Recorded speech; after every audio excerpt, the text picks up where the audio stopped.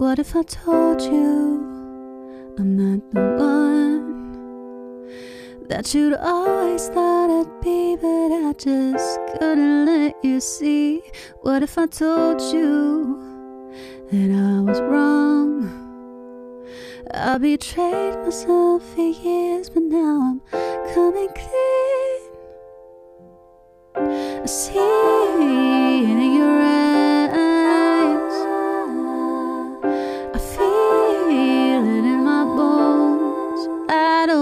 these lies.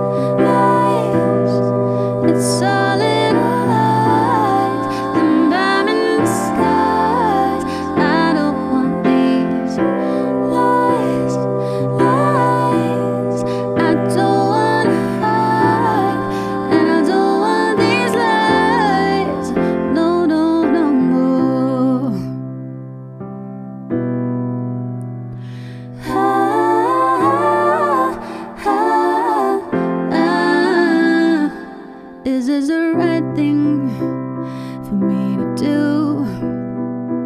I felt safe inside these arms, so why would I just give away my biggest secret that I got through?